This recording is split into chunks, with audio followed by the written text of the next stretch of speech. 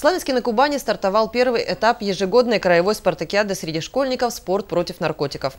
Муниципальный этап по традиции провели в Центре спортивной подготовки «Олимпиец», куда съехались 17 команд со всего района. Школьники Славянского района всегда принимают активное участие в спортивных мероприятиях. И спартакиада «Спорт против наркотиков» не исключение.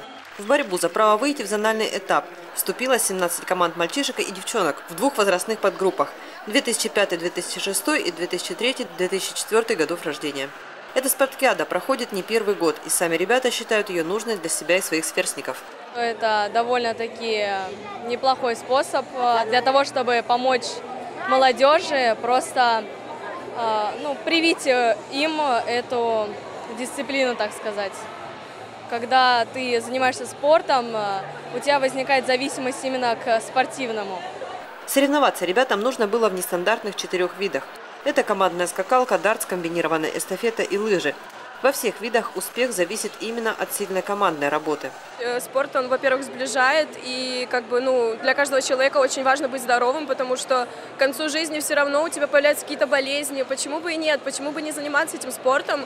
Э, это же для твоего здоровья, для твоих, типа, ну, как сказать, для твоих достижений каких-то, ты чего-то хочешь добиться, и это круто, я считаю.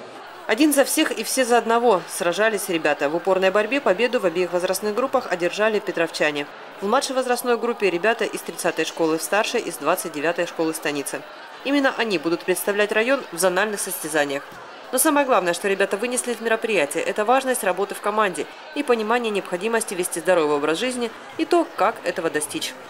Спорт очень важен для здоровья человека.